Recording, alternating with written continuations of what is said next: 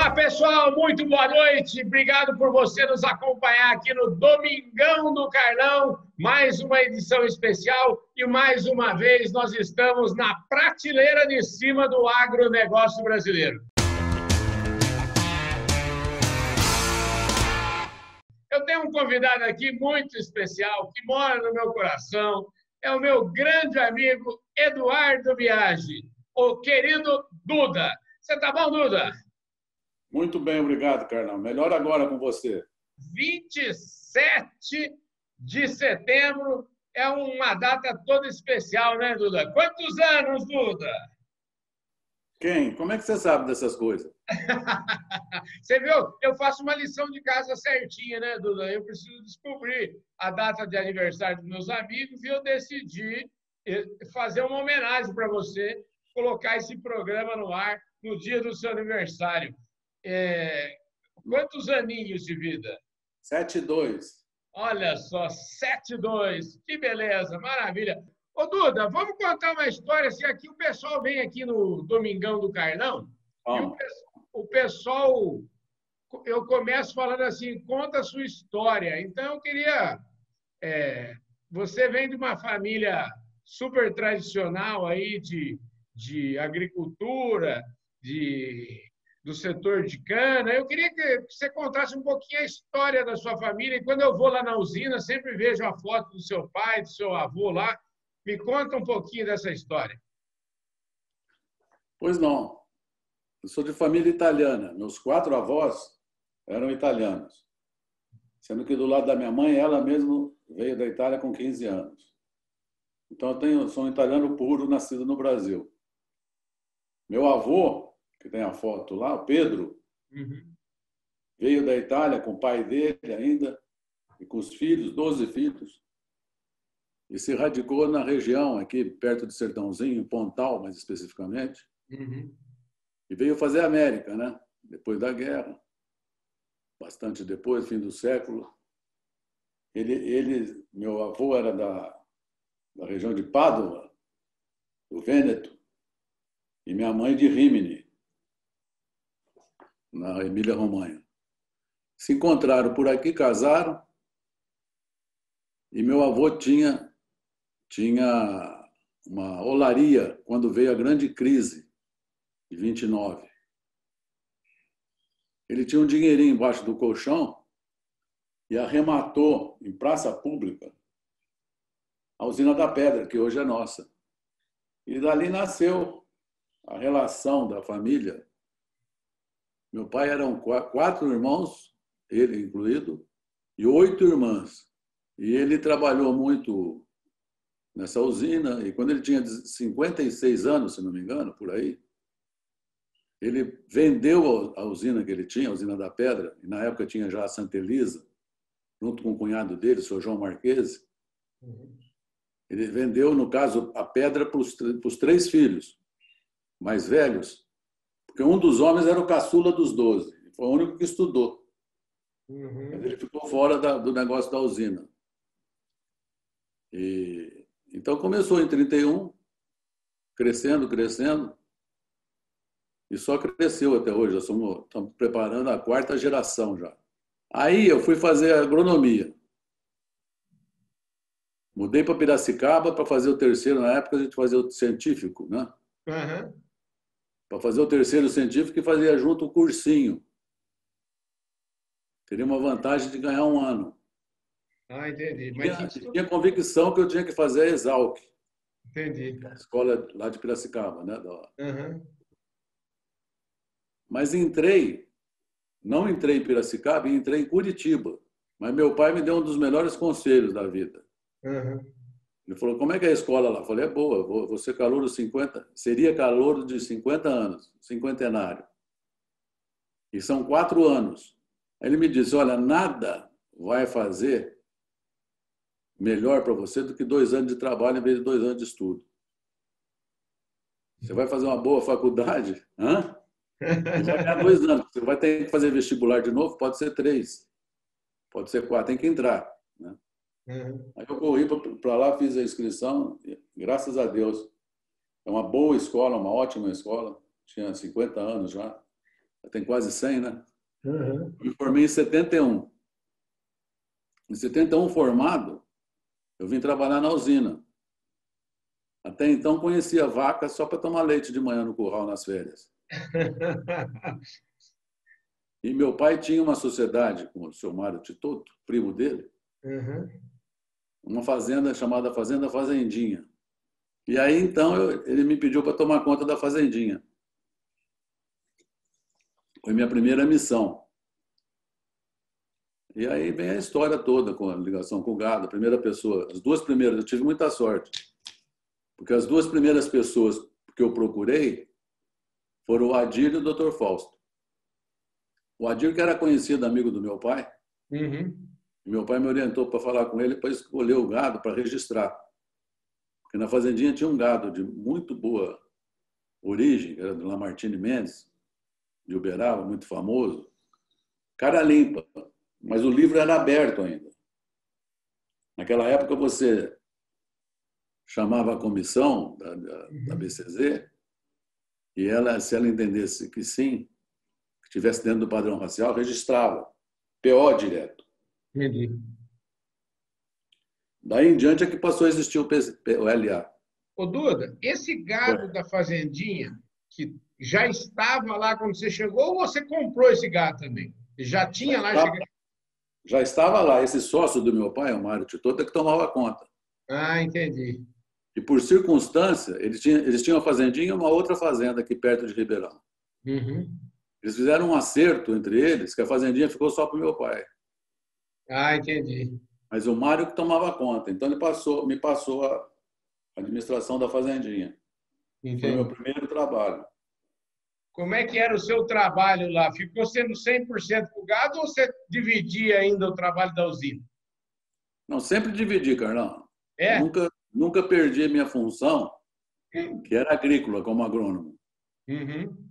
No passado, era uma, eram tudo separado, empresas separadas. Né? Aliás, no, em 71, era, a usina era uma empresa, a cana era pessoa física, era Baldílio Biagio. O gado, a fazendinha, também no começo, o proprietário era Baldílio Biagio. Né? Ah, entendi. entendi. E, e eu sempre exerci minha função aliás, brilhantemente na usina. Vem cá. E sempre mas... tive o apoio, e sempre tive o apoio restrito dos meus irmãos. Pois é. O... A sua área, então, era, era, vamos dizer, a lavoura, cuidar de lavoura. De lavoura. É, como bom agrônomo, hum. era cuidar da lavoura. Cuidar da lavoura. E... e tenho dois projetos que eu tenho muito orgulho de ter participado uhum. e desenvolvido, que é o uso da vinhaça como adubo. Uhum.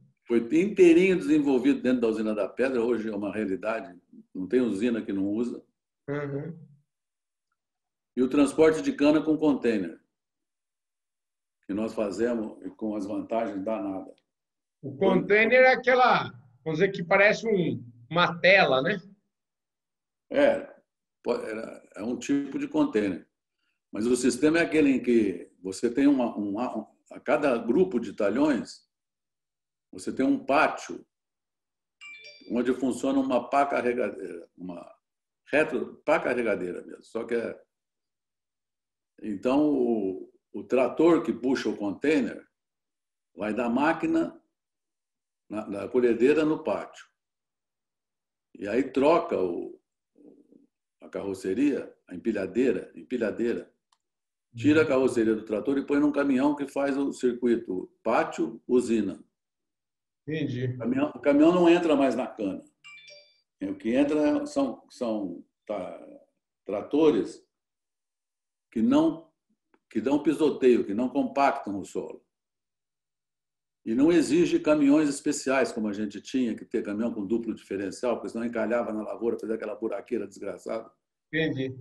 Isso tudo foi superado com esse sistema. Da cana, eu gosto de ver ela nascer. Eu acompanho, acompanhava né, muito, sabia talhão por talhão, a variedade, aquela variedade nova, o espaçamento, não sei o quê, ela nascer bem ou nascer mal, eu acompanhava. Depois que ela tomava um certo tamanho, Aí fica sem graça. Só queria saber quanto que ela produziu mais tarde. Né? Uhum.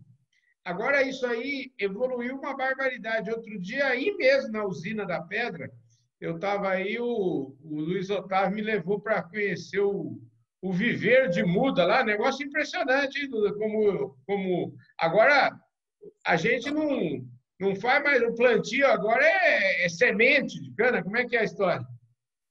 É uma evolução, está passando por uma evolução no plantio impressionante, impressionante, porque o, o plantio sofreu com a falta da mão de obra, ela foi obrigatoriamente para o plantio mecanizado.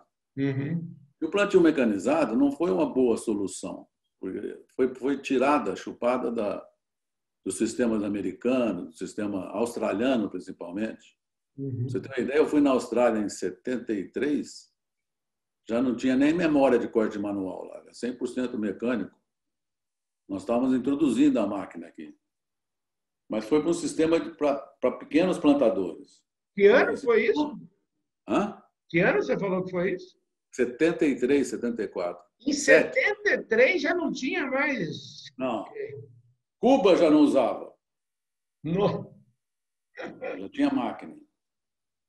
E ficou desde então uma solução de plantio caro, ruim. Uhum.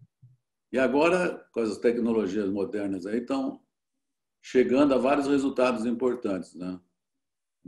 Mas revolucionando tudo, muda tudo. Hoje você faz muito tal da meiose. Uhum. Mais ou menos é o seguinte: você planta duas ruas e deixa o espaço para 12. Então você tira a muda daquela, daquelas duas para plantar o resto. Porque um grande custo na, no plantio é o transporte da muda. Hum. Se você não tiver um planejamento 100% de plantar naquele local a muda, que daí dois anos você vai replicar, você pode circular muito por aí com muda. Né? O conceito do container também foi muito, é muito usado hoje no, do transbordo, né? O transbordo é uma palavra, essa palavra transbordo é uma palavra muito utilizada hoje. Eu acho que não só na cana, né, mas na, na lavoura de uma forma geral, né? Para adubo, né? Tem, tem, tem, tido uma progressão, o, o setor sucroalcooleiro teve um soube através dos tempos uhum. transformar as dificuldades em vantagens. Falo isso, por exemplo, da vinhaça. Uhum. Que era um tremendo problema de poluição, jogando nos rios, jogando terra, matava tudo. Hoje ele é 100% usado em adubação. Outro problema foi o bagaço, que não tinha onde pôr bagaço mais, não existia. Não se usava o bagaço. Hoje falta bagaço. Se tivesse mais, seria melhor. A fermentação. Plástico, Hã? Plástico estão fazendo a partir da. É a tecnologia é dominada, mas ainda não se usa em uma escala interessante, porque está se acomodado na, no reciclável e não uhum. no biodegradável. Biodegradável, como é o nosso plástico, né? Mas ainda vai crescer muito. Tem muitas soluções por virem ainda. Muito bom, Duda. Agora é o seguinte, vamos lá. Vamos voltar lá atrás no tempo, né? Quer dizer, 1971 é, é interessante que nós estamos se aproximando o ano que vem, é uma data extraordinariamente importante, né? São 50 anos de seleção, né, Duda? E 90 da usina. 90. Ah, é, 90 da usina, olha só, gente. É, eu acho que a gente precisa 140. começar. 90 da usina, 50 de seleção. Gente do céu, olhando em perspectiva, às vezes a gente vai, vai vivendo e, e, e acaba num, num olhando no retrovisor o tanto de coisa boa e importante que já foi feito, né? É verdade. Tem hora que você acha que 50 anos passaram devagar e tem hora que acha que foi muito depressa, né? Pois é. Sei lá, eu tenho essas duas sensações às vezes. Mas na verdade é muito tempo, viu? Ah, é tempo demais. Vamos, vamos falar um pouquinho da história. E, e, o bacana de falar da história da Carpa é que ela está bem estruturada. A gente já, vamos dizer, contou um pouquinho, a gente vai falando um pouquinho dessa evolução ao longo do que aconteceram aí ao longo do tempo, né? É, você estava falando do Adir, Dr. Fausto trabalha contigo desde, desde o comecinho, né? Acho que ele começou em 72 aí, né? É, o Adir foi a pessoa que meu pai me indicou uhum. para apartar esse gado que já existia, para ver qual que dava registro. Uhum. Então foi meu primeiro contato. Foi o Adir. Olha a minha sorte, primeiro o Adir. Uhum. Aí existia, abrindo também aqui, a Lagoa da Serra, uhum. era um tio e um grande amigo que me ensinou muita coisa também, o Luiz Lunardi. Uhum. Só que ele uhum. era girista. Ninguém é perfeito, né? Pois é, eu ia falar que ele era, ele era avançado para a época dele já, né? É. E a terceira pessoa foi o Dr. Fausto, que na época era o, o, o diretor aqui do, do Instituto Zootecnia de Sertãozinho, que trabalha com gado. Uhum. É um tremendo do, um conhecedor, né, doutor Fausto? Então, eu tive muita sorte por ter essa base me aproximado de pessoas que até hoje são referência, né? Ô, Duda, e aí, doutor Fausto chegou em 72, como é que foi essa história do registro do gado aí? Você já é, deu um estalo, falou assim, ó, vamos, do dia para a noite você valorizou o gado muito. Né? É a primeira venda. Eu, eu cresci muito meu conceito da família, com meu pai, é. principalmente. Porque me orientaram para registrar, eu registrei. Me orientaram para inseminar, que a Lagoa da Serra é do mesmo ano. Então, uhum. lá, quem, quem tinha touro lá era o seu Rubico, o seu Torre. Então, comecei, e fiz a minha primeira venda quando os animais não eram nascidos. Eu vendi, se não me engano, 56 tourinhos para entregar depois da desmão, depois de nascido, sei lá, não lembro. O, o seu Baldílio, o valor, e o valor desses tourinhos. Seu Baldílio deve ter falado assim: esse menino vai longe. É exatamente o que eu penso, que ele deve ter, pelo menos pensado. Viu? o valor dos 56 era pelo menos um terço da fazenda, metade, sei lá. Era uma época de ouro, já, já, já nasci assim, com, animado. Por isso que animei também com o Nelore, né? Ô, Duda, e, e aí tem uma, uma, uma história sua também, que você foi, você, você acabou indo trabalhar na Lagoa, né? Me conta essa história, foi em 79, não é isso? A Lagoa era do meu tio e de um grande amigo, Luiz Lunardi, que era sócio do Adir, foi sócio do Adir. Uhum. Por isso que ele é dois L, Leonel Lunardi. E houve a dissolução da sociedade deles. Uhum.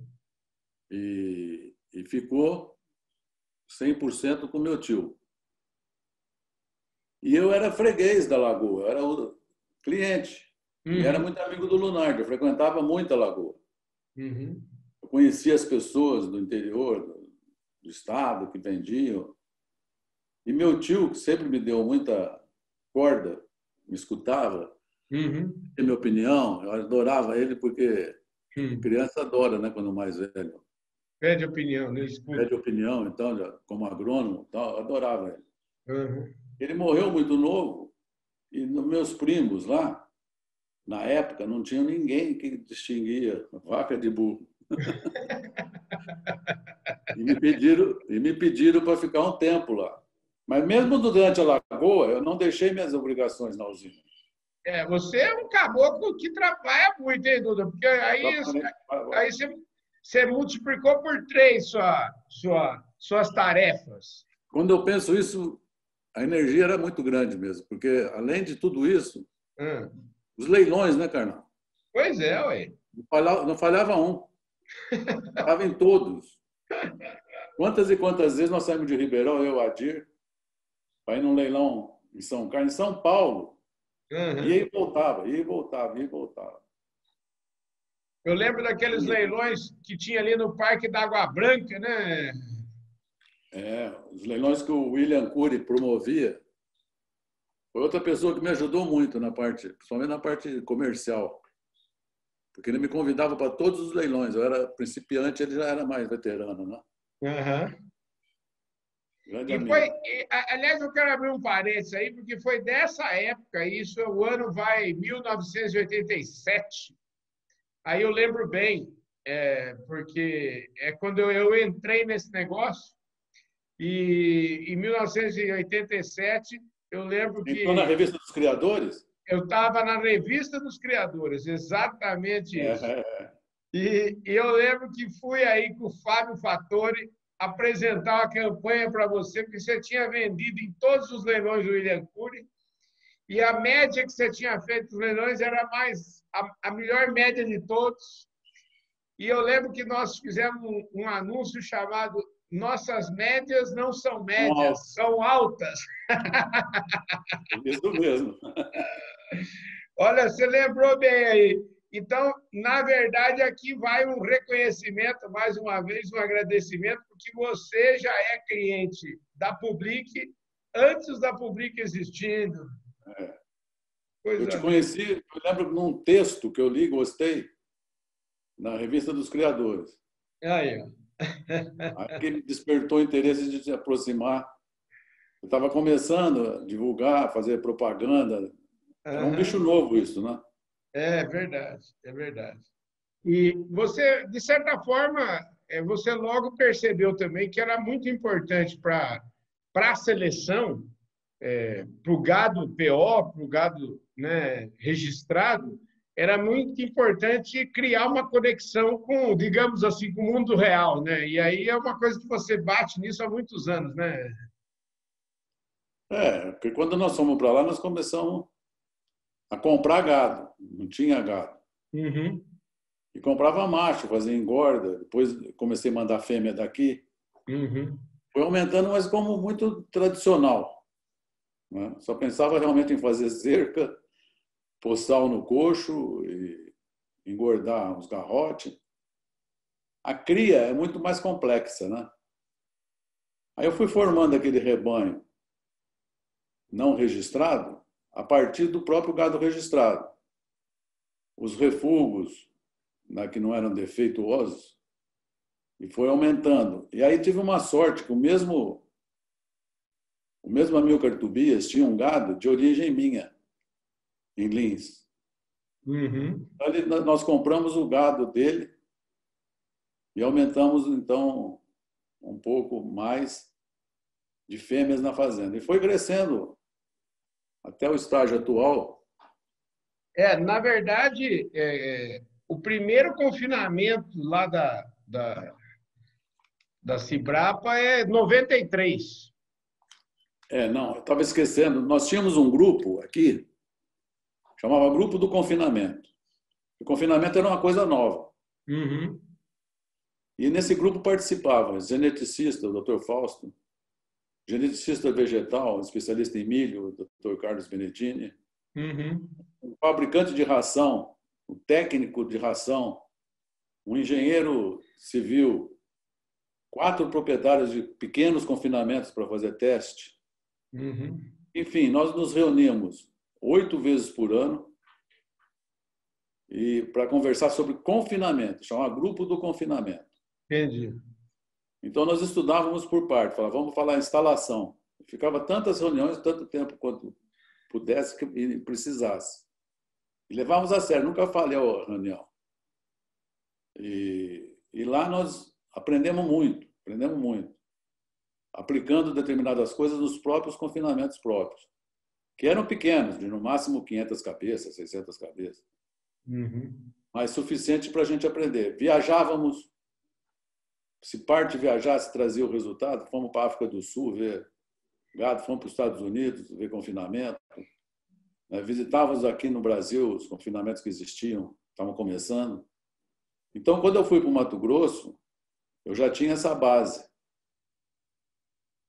Mas eu não tinha genética suficiente, como tem hoje, para ter resultado econômico. Uhum. Então, uma vez eu fiz essa conta, eu, eu fiquei invocado, falei, o que, que é esse tal de é, desfrute? Como é que se faz esse desfrute? Porque desfrute, teoricamente, é o que você mata sobre o que você tem, né? Uhum. Você tem 100 cabeças, mata 30, é 30%. Uhum. Mas na hora que você for fazer, você vai ficar com muitas dúvidas. Falar, cabeça, cabeça. Não, então tem unidade animal, que equipara uma cabeça com outra. Né? Uhum. E tem também o, o, Eu fiquei em dúvida se faz com essa unidade animal ou, ou faz com que lê que o desfrute de tal país é X, uhum. como será que ele foi feito? Você não pode comparar um desfrute de um confinamento com um desfrute criado a pasto, qual é o ideal. São uhum. completamente diferentes. Não são comparáveis. E acredito que quando comparo, por exemplo, o Brasil é criticado muitas vezes por nós mesmos uhum. por ter um, um desfrute muito mais baixo que nos Estados Unidos. E citam isso como potencial. Ora, isso é devido ao modelo escolhido. Uhum. Se você fizer confinamento, pode fazer mal ou bem, você vai aumentar o desfrute. Com pode certeza. ser com bruta prejuízo. Né? Ô, Duda, e aí, quer dizer, em 93 você assume a Nelore, em 95 você faz o primeiro abate técnico, né? esse dos. Com mil, mas não é um abate técnico com, é, com 1.280 garrotes. Eu tenho o número, viu, Duda? Castrados. Pois é, castrados. É, nesse, nessa oportunidade, feito com muito critério, com grandes mestres, uhum. vários, o doutor José Barbosa dos Anjos, que era o papa do, da qualidade aí, uhum. as análises feitas pelo doutor Pedro Felício, doutor Alexandre Jazevic, o doutor Lobo lá da, da Federal, que trabalha junto aos frigoríficos, e a comprovação, constatação, né? Uhum.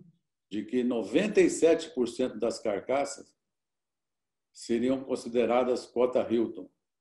Pois é. Até hoje é a melhor cotação, classificação de carne para negociação internacional. Aí em 96, você fez, você fez o segundo abate técnico, em 96.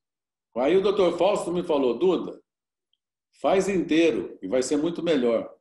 Uhum. O mercado era muito dividido, havia muita pressão para não comprar boi inteiro dos frigoríficos. Havia campanha aberta na, na, na imprensa dos frigoríficos contra o gado inteiro. Uhum. Então nós fizemos de novo os mil e tantos animais, tudo igualzinho, com classificação, com análise das carnes, tal. E ficou comprovado que o inteiro era muito melhor que o castrado, como resultado para o criador. Uhum. Isso ajudou muito a definir o mercado. Aí que nós comparamos inteiro com castrado. Teve um quarto abate, que foi o precoce. Ah, é? É, primeiro foi o castrado, segundo o inteiro, depois o inteiro é castrado junto. Certo. Outro ano. E aí que nós fizemos o precoce e o alterando a, a um quinto ano ainda, fizemos um estudo com um inteiro, sem eliminando o, o, aquele castigo que dá antes de abate. Porque a diferença do inteiro para o castrado, negativa, uhum. é que o inteiro tem um pH ácido, Entendi. que protege a carne. Um aspecto pior, e vale, segundo o frigorífico, deprecia a qualidade do, da carne. Agora, era feito um, um descanso do, dos bois na propriedade e depois outro no frigorífico. E o frigorífico, na época, aceitou fazer. Aí foi um número menor, acho que 150 animais, se não me engano. Uhum. Foi feito sem, o, o sem a restrição da água. E resolveu o problema, melhorou o pH. Havia uma crença que o confinamento com o Nelore não seria possível, porque ele era muito bravo, não parava no coxo, pulava tudo, arrebentava tudo, era nervoso. Como eu já tinha feito confinamento no nosso grupo aqui, uhum. nunca tivemos um problema desse, eu tinha certeza que não era isso. Mas a, a cabeça do, do, dos técnicos e também de muitos criadores era que concordava com esses, com esses pensamentos, sabe? Uhum. admitiam que isso era verdade. Isso é verdade no mau manejo, se manejando direito, tanto é verdade que na pista nunca ouvi falar de problema do Nelore fugir, ficar bravo, machucar. Bom, e essa, a década de 90 foi interessante nesse aspecto, e foi aí que surgiu a nossa expressão, o novilho Nelore precoce carpa, né? Olha só, a gente dessa Nossa. época tem esse trabalho aqui, que é um trabalho divisor de águas, eu, eu considero. Aqui. É o novilho precoce nasceu com o conceito de cruzamento industrial. Uhum. Teoricamente, o novilho precoce é um produto do cruzamento industrial. Você cruza esse com isso, você tem um novilho precoce. Uhum. Eu fiz questão de lançar novilho precoce carpa, 100% Nelore. 100% Nelore. Para provar que animais 100% Nelore tinham boa performance. E ele não só era boa, e o Nelore, toda vez que é solicitado a melhorar, ele corresponde. Né? Impressionante a capacidade de resposta aos mais diversos aspectos da, da, da seleção do Nelore. Ah, ele... é, é, um. É, como é chama? É, tem muito, teve muito e talvez ainda tenha muito preconceito, né? Tem, você vê esse problema da qualidade da carne. Uhum. Há muitos há muitos, muitas considerações para fazer quando você fala que uma carne no prato é boa ou não é boa. Não é só a raça. Aliás, a menor importância é a raça. Mas sim a, como que ela é criada, como que ela é abatida, como que ela é guardada, como é que ela é congelada, como é que ela é esfriada, como é que é resfriada, como é que... É tudo feito errado normalmente. Tudo. No Brasil se pendura o boi pelo pé no frigorífico. É errado. Tem que ser pela pelvis. No Brasil se esfria muito rápido a carne, é errada. Tem que esfriar menos, porque senão ela endurece. No ponto de venda, não tem temperatura correta, tudo errado. A dona de casa guarda no freezer, descongela no micro-ondas ou no sol, corta errado. Então, tudo isso é, é, a lição certinha para dar tudo errado, né? É verdade. E mesmo assim a gente, a gente come ah, uma carne Nelore nessas, nessas demonstrações aí que, que o Nelore tem feito e, e é, uma, é uma maravilha o, o resultado disso. Né? Nessa década de 90 também, você começou a fazer o programa de melhoramento genético. Né? Eu, eu tenho anotado aqui que foi de 1900... Mais aprendendo, Hã? mais aprendendo com você hoje do que ensinando, viu? hoje é comum é, falar de programa de melhoramento, né? mas lá naquela, no distante ano de 96 não era tão comum, né? Melhoramento nasceu numa palestra uhum. ali no JP, que a Nelore promovia e que o Nelson Pineda comandava a maior parte delas. De uma reunião sobre melhoramento nasceu o PMGZ. Pois é. Obra do Nelore do século XXI, chamava a série. É, lembro muito bem disso. Lembra? Participei desse, desse, desse simpósio, né, que chamava. Né? O Carlão, Hum. Falando de qualidade, me lembrei aqui, eu posso até daqui um pouco procurar, eu tenho um documento aqui hum. do Dr. Pedro de Felício, que é o maior entendido de qualidade de carne. Uhum. Ele acompanhava esses abates, acompanhou todos esses abates. No fim, uhum. a gente mandava carne para ele e ele analisava os mais diversos aspectos. E, e quando eu estava fazendo o experimento de super precoce, eu confinei animais e abati com 14 meses, com 450 quilos. E a carne era, ele analisava e falou que a carne estava espetacular, depois de embalada já. Uhum. E eu estava na Nelore. E tinha o início do Nelore Fest. O início do Nelore Fest na minha gestão era um jantar só para a diretoria, com a família. Uhum. E eu levei um pouco dessa carne, do super precoce. E ela fez um sucesso entre os diretores, aqueles que estavam presentes, fora de série. No ano seguinte, na hora de festa, começou a crescer. Eu já não era presidente. Uhum. Mas aí me pediram para levar a carne de novo. Ia ser lá no, no, no, no restaurante do rapaz, é, como é que é? Varanda, no Varanda. Uhum. E entenderam que melhor. Então eu pedi a carne lá no Mato Grosso com o Marcão, combinei com ele uhum. um abate lá. mas depois preferiram mandar os boi para serem abatidos aqui no estado de São Paulo, num determinado frigorífico. Então eu mandei acho que meia dúzia de bois, sete ou oito bois. E ele fez o abate, aproveitamos para fazer colher os dados para classificar e fez a análise da qualidade. E me mandou esse bilhete que eu tenho ele aqui até hoje, me dizendo o seguinte: a carne foi mal resfriada. Você vê um detalhe, hein? E não te aconselho usar no jantar de amanhã, porque vai estar dura. E eu não dei bola para aquilo e usamos do mesmo jeito. Foi o maior arrependimento. Estava um pau a carne. Não, porque foi, só porque ela foi mal resfriada. Uhum. Você vê a importância desses aspectos. E ele cita todos os dados nesse, nessa comunicação interna, vamos dizer. Entendi.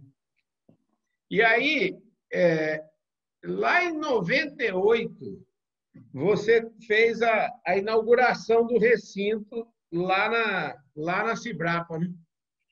Foi antes que eu daqui, né? 98. Foi antes.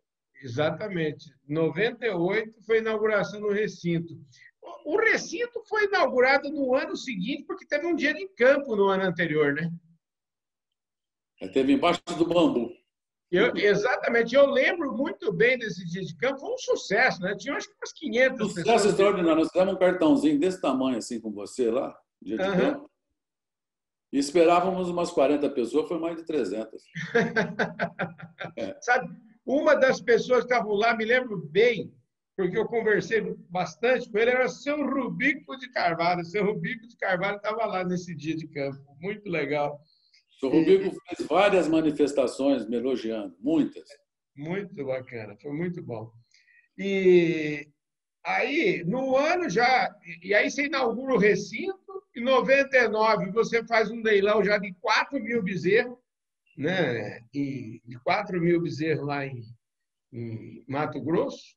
E aí já vem os anos 2000, e tem muita coisa, tem, tem muita história bonita, tem Fano, tem 30 anos da Carpa, e aí em 2002 que você inaugurou o recinto da Carpa aqui em, em Serrano. Que na Mas verdade. Esse do Mato Grosso, aí deixa eu voltar um pouco. Uhum. Foi em função do grande sucesso que os leilões faziam, né? Uhum. Porque esse dia de campo aí foi embaixo do bambu, não tinha estrutura nenhuma. Foi embaixo de um bambu gigante que tem lá, umas moitas enormes, e, é, e, quase ao ar livre. Né? Aí fiz aquele recinto, que é um projeto que eu acho que deu muito certo, uhum. um arquiteto da Barra do Garça, genial, e ficou muito bom. Depois eu repeti com a planta idêntica aqui em São Paulo, no Serrano. Pois é, e nessa história, uma coisa interessante, aí nessa época já é, do Lufo, pouco, alguns anos para cima, a gente já estava se aproximando, já estava se aproximando de 20 mil registros, um pouquinho aí em 2010, 20, 20, quase 25 mil registros. Hoje a Carpa já está perto dos 40 mil registros da BCZ, né? Eu acho que já passou até, Carlão. É, né? Muito espetacular, né? Uma história fantástica. Agora, um outro momento importante da sua vida também, que eu acho que a gente precisa ressaltar, é o momento que você assume a, a, a, a presidência da BCZ. E, e até por conta desse, desse momento, daqui para frente nessa entrevista, vai ser a primeira vez que eu vou ter uma um jornalista, uma jornalista convidada aqui nesse programa. Vai ser, vai ser diferente e eu tenho certeza que você conhece essa, essa pessoa. Vou pedir para essa jornalista queridíssima ligar a câmera e aparecer aqui para gente. Estou falando da Márcia Benevenuto. Olha aí, Duda. Surpresa para você, viu? Oi, Marcinha. Parabéns, antes de tudo, da pergunta, parabéns pelo aniversário, parabéns pelas, pelas realizações, né, desses, dessas últimas semanas. Muito obrigada por essa deferência, Carlão, de participar aqui do Domingão do Carlão. E muita honra de conversar com você, Duda, uma pessoa que eu admiro demais e, e acompanhei principalmente o momento ali na BCZ, Mas o Duda tem todo esse aspecto, né, que vocês vinham já conversando sobre uma liderança, um representante de uma classe, uma pessoa que dá voz, né, a, a um segmento. Na BCZ, é, é, eu tenho muitas coisas para destacar ali da gestão do Duda, mas eu prefiro que ele faça isso, porque eu, eu acho que foi um momento que a BCZ realmente teve uma representatividade muito intensa no, no, no setor, no cenário político, econômico, em discussões sobre sustentabilidade, meio ambiente. Aconteceram muitas coisas naquela época, né? Eu lembro que politicamente a BCZ sempre foi muito respeitada nessas politicamente junto ao governo, sempre como entidade delegada, né? Ela tem sempre obrigatoriamente uma ligação grande com o Ministério da Agricultura. Uhum. Mas ela é muito respeitada em todo o governo. Nós vivemos, por exemplo, a fase do, do, dos touros é, contrabandeados de sêmen, né? Tivemos um problema com o giro muito grande. Tivemos um problema ambiental, de discussão do Código Florestal. Né? E a BCZ teve realmente presente em tudo. Nós tivemos meio ambiente, como a Márcia falou, na Rio 92. Foi uma, uma administração voltada para o sócio né? É. e para a associação, para fazer o melhor possível. Investi muito em treinamento da equipe, né? em hierarquia, hierarquizar, meritocratizar, prestigiar os funcionários. Cuidamos do patrimônio, reformamos, se não me engano, todas as sedes no Brasil inteiro, construímos um escritório de Campo Grande, investimos no parque de exposições, tanto no, no visível, como nos encanamentos, na gestão da água, na limpeza, porque já vivíamos reclamação, como, como o parque está colocado dentro da cidade, havia muitos problemas com o promotor, com gestão da, da festa da Exposebu, o barulho, né? tinha muita gente reclamando. Mecanizamos a limpeza da, após uma exposição, que demorava semanas, passamos a fazer num dia. Troquei toda a frota da Exposebu de tratores, de, de toda, toda, não ficou um para trás. E veículos, não são tantos, mas custam. Né? Nomeamos, já não compramos, mas investimos bastante na estância OT, Agora mudou o nome, né, Márcia? É, mudou o nome. Eu não sei direito, mas acho que é Fazenda Experimental ABCZ. Fazenda Experimental ABCZ. Legalizamos ela, por exemplo, com o meio ambiente, com a reserva legal. Enfim, fizemos muita coisa de boa nesse, nessa, nesses três anos de gestão. Né? Agora, dos feitos do Duda também, é, é eu lembro muito uma obra que eu fiquei acompanhando o passo a passo dela ali, a evolução de cada etapa, que são as obras que diz que prefeito, prefeito, por exemplo, não gosta de fazer, né? Obra enterrada. Uhum. Aquele sistema de drenagem, de irrigação, tudo automatizado, da pista Torres Homem Rodrigues da Cunha, é fantástico. É uma coisa que hoje ninguém vê, tá lá um gramadão, né? Mas aquela obra ela foi muito bacana. Aquilo me tirou o sono muito tempo. Porque nós recebemos uma pista de areia. A pista já estava muito ruim, na verdade. Teve a oportunidade, acho que foi com o Zé Olavo, de fazerem um, um jogo da seleção brasileira de vôlei. Foi. Então isso acabou de. E nós, estávamos, nós assumimos e muito próximo da Expo Nelson, é, normalmente é assim, era assim, né? em setembro. Em espanhol vinha logo assim, não dava tempo de programa. Então nós completamos de areia, mas era horrível, né? Era horrível. Agora, fazer tudo direito também era muito caro. Mas é, não tem jeito de não pôr grama aqui. Então fizemos um contrato com o projeto, realmente, com escolha de grama, muito tecnicamente. E fizemos aquela maravilha que está lá até hoje, realmente. Inclusive tem Tivemos que fazer depósito de água próprio para o sistema. não é no, ligado no sistema, corria risco de acabar de um lado, acabar do outro. Então fizemos tudo independente, tudo irrigado automático, a grama apropriada, e aí resolveu um problema grande. Pois é, né, Duda? Você, como presidente, né, chegou à presidência da ABCZ, é, a gente está falando aí um, um não mineiro de fora, mas não é um não mineiro somente, né? Você, ao longo da sua vida toda, você sempre foi um árduo defensor da seleção. E eu me lembro até que lá atrás nós temos um folheto, um folder falando, e a gente falava isso, é, lembra? Tinha um artigo do geneticista de milho naquela época falando das vantagens né, que ao longo do tempo, num, num longo prazo de tempo, a seleção superaria muitos ganhos com o cruzamento. Então, eu queria que você falasse um pouquinho. É impossível a gente conversar com você e não tocar nesse tema é, do cruzamento versus a seleção. E um tema que me é muito caro, né, Carnal? com certeza.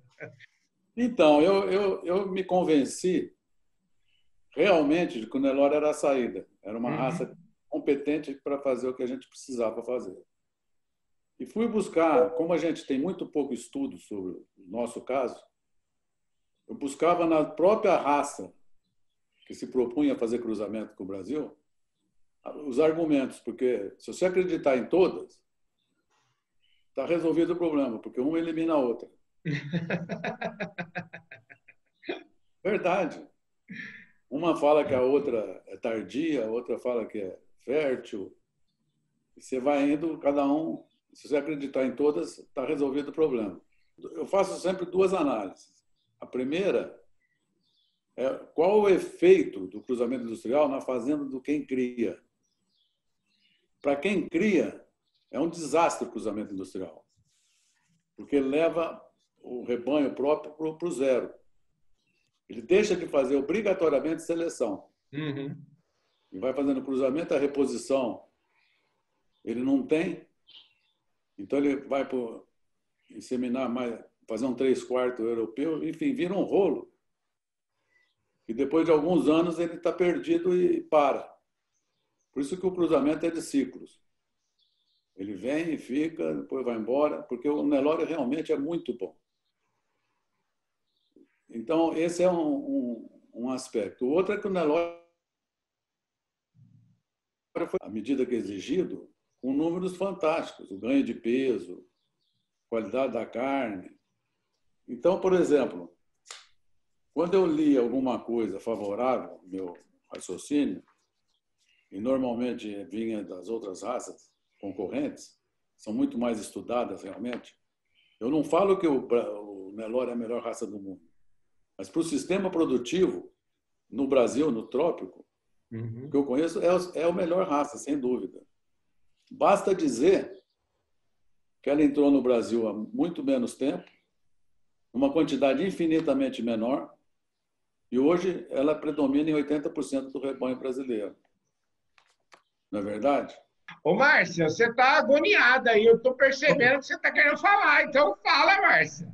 Fala, Márcia. Duda tem uma coerência de pensamento, de atitude, que já que a minha obrigação primordial aqui é, é, é comentar do tempo de ABCZ, né? Se na Fazenda, na Carpa, na Cibrapa, vale o slogan, né? 100% Nelore, enquanto ele comandou a ABCZ, ele lutou muito pelo slogan 100% Zebu. Né? Então, já que a gente está abordando questões que foram é, fortes e marcaram a trajetória do Duda. Ah, por que da defesa, Duda, naquela época, do, da utilização das receptoras zebuínas? Para mim é uma coisa lógica. A maior qualidade aceita e reconhecida por todo mundo, por todo mundo, é a vaca Nelore. O que tem de melhor da raça é a vaca. Ela é uma fábrica de bezerro a céu aberto.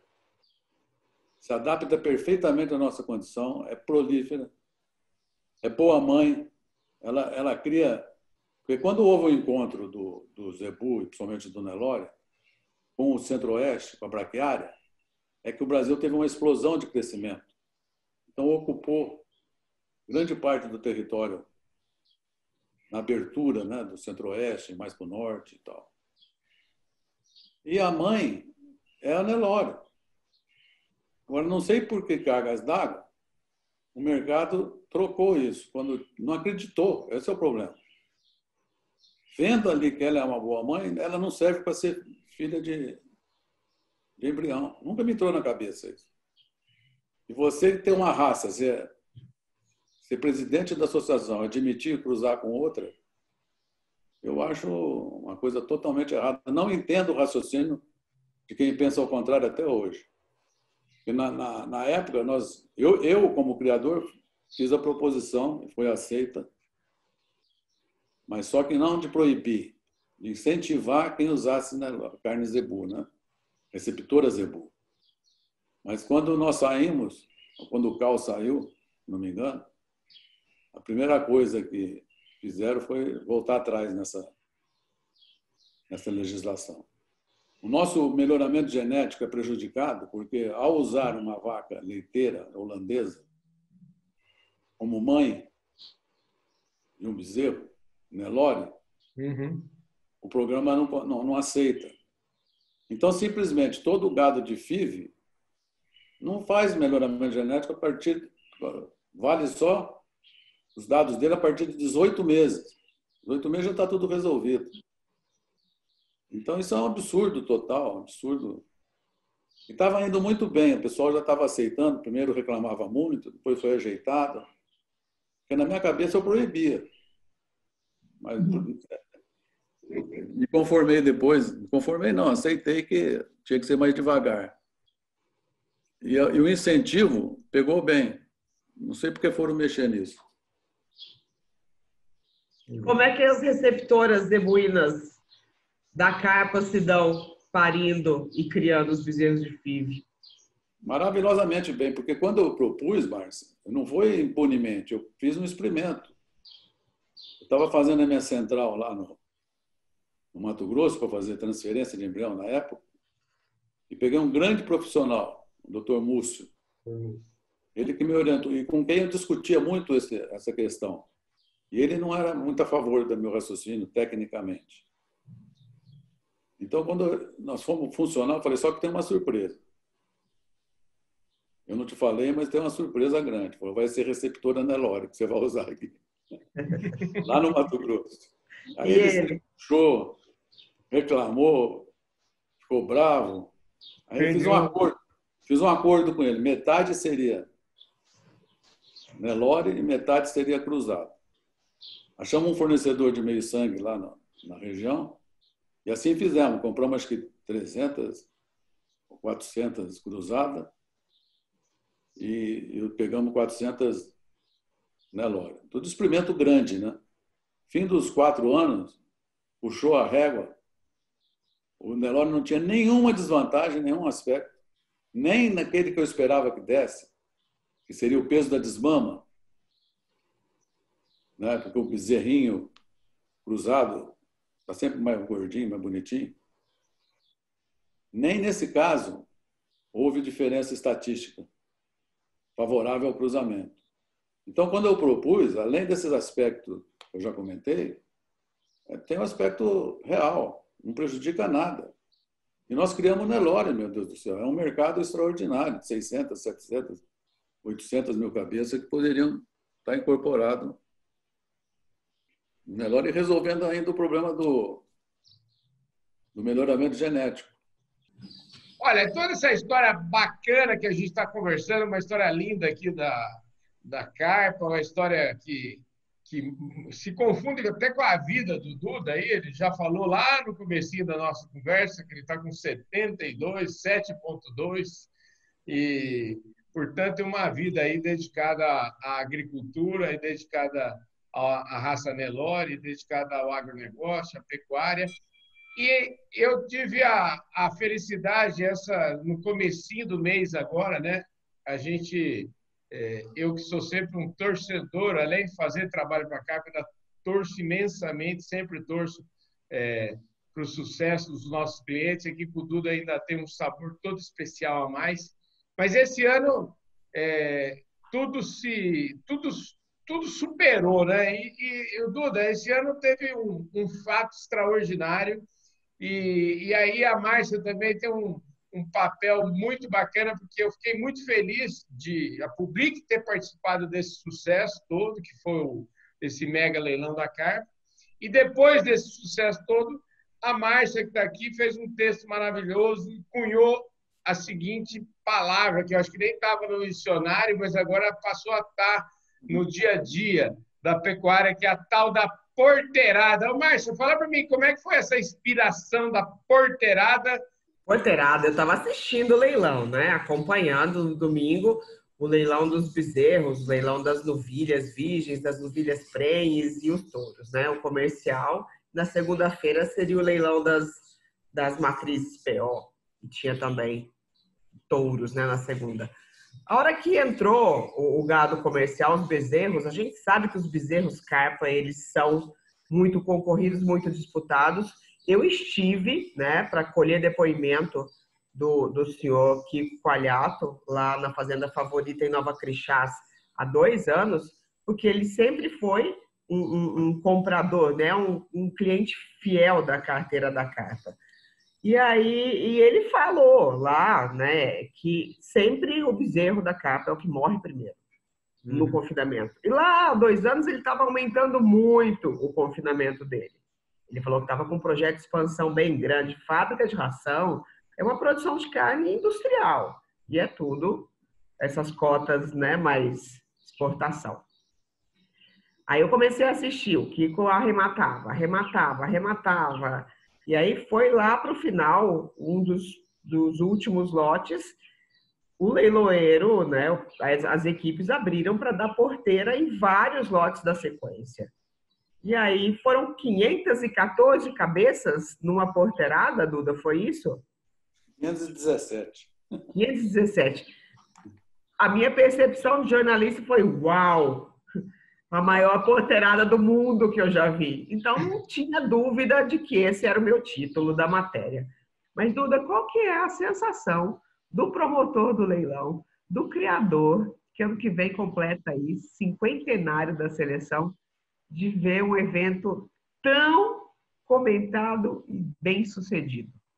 Primeira coisa que vem na cabeça é falar, eu estava certo. Ai, que bom. eu já sabia. Mas a equipe toda fica satisfeita, né? É gostoso ganhar, né? É, como dizia o Adir, é melhor ganhar com gado bom do que perder com gado ruim, né? Foi um presentão antecipado de aniversário para ele, Carlão. Então, nós temos que encerrar, senão nós começa a conversa de novo. E para encerrar, sabe o que eu queria? Eu queria homenagear e agradecer imensamente também a colaboração que nós tivemos de bastidor da Solange Biagi. E em homenagem à Solange, eu quero mostrar essa foto aqui para ela. Aqui, Olha só, essa foto aqui é do Óbvios Command. Olha só que beleza. Vou mostrar essa. O Duda com o Pelé, dois Pelé aí juntos. Foi a última vez que eu orientei ele.